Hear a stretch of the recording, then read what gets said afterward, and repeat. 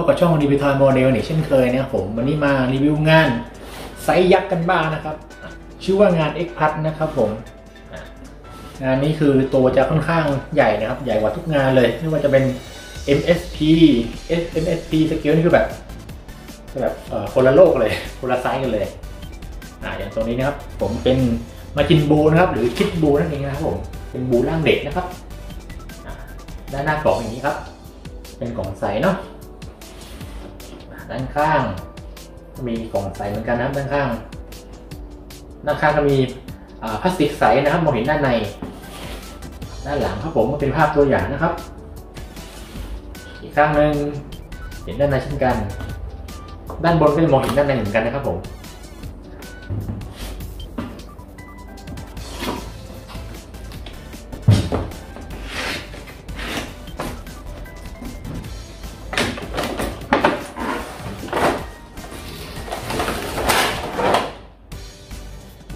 บอกก่อนว่าจริงๆตัวนี้ไม่ใช่ของผมนะครับ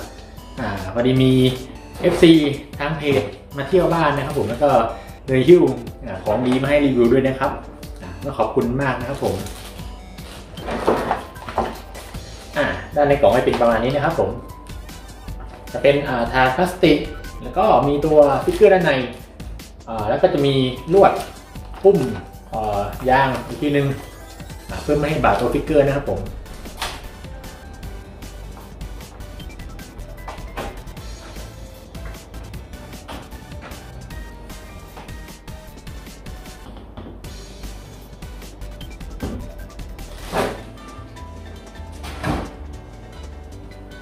โอเค ตัวนี้ก็เป็น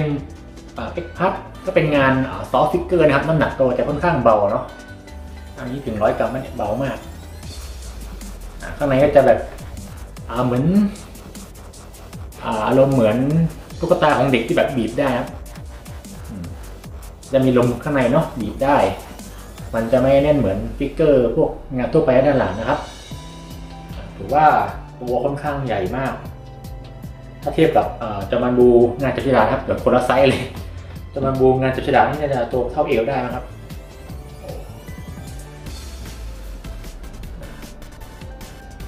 ตรงนี้ถือว่าปั้นหน้าได้สวยเนาะสวยมากอ่า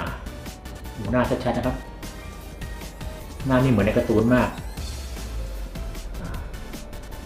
หน้าแบบสะใจอืมรายละเอียดถือว่าทำได้โอเคนะผม รอยยับเองอย่างเงี้ยกางเกงเนี้ยเป็นรอยยับทั่วเลย ตรงนี้มีการลงสีลงไฮไลท์เงาๆนะครับผม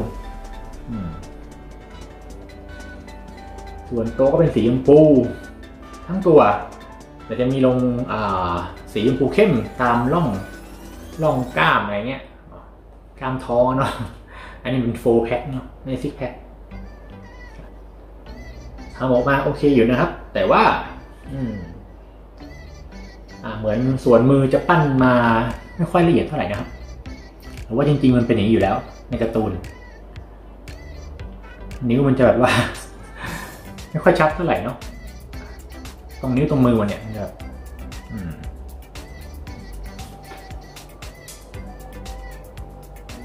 อีกเรื่องหนึ่ง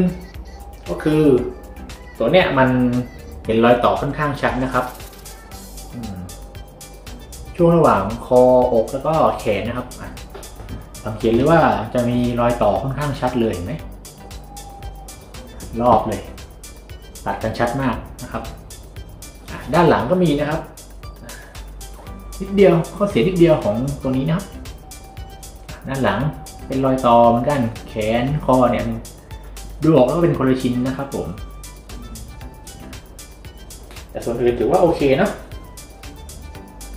นอะไรขยับไม่ได้นะครับตรงจมอยก็มีรอยต่อเหมือนกัน แขนอะไรหมุนไม่ได้ แต่ว่าส่วนเท้าเหมือนจะขยับได้นิดนึงมันจะหมุนได้นิดนึง ขยับได้อยู่นะนิดนึง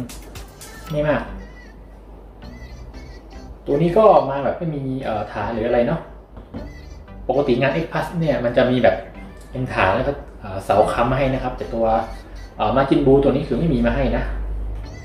เอาตรงตัวก็ขมุนได้นะ นิดนึงอะแต่ไปฝืนเดี๋ยวของเข้าพังแล้วยุ่งเลย ผมลองวัดความสูงดูนะครับ ตัวแบบโคตรใหญ่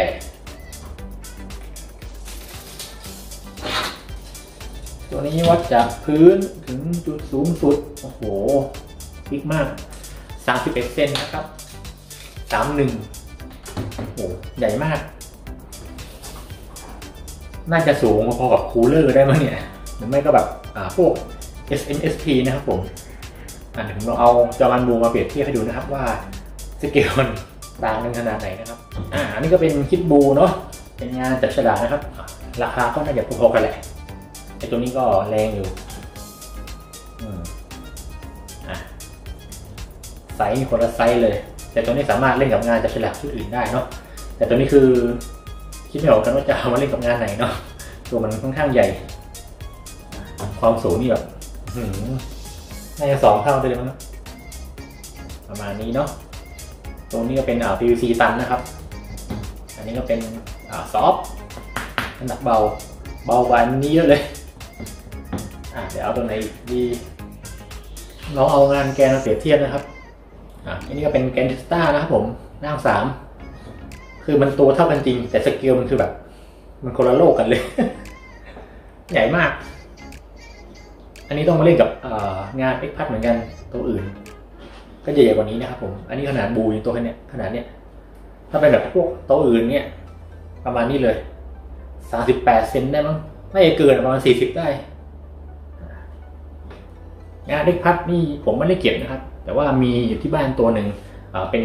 กูจิต้าล่างบูนะครับผม ซึ่งก็ยังไม่ได้เอามารีวิวนะครับผม เดี๋ยวว่างๆเอามาถ่ายให้ดูนะครับ ตัวแบบอืมประมาณนี้เลย ผมมีอยู่ตัวเดียวนะยังไม่ได้เก็บเนาะมีที่ไว้แล้วโอเคก็ประมาณนี้นะสำหรับงานเอ็กพัด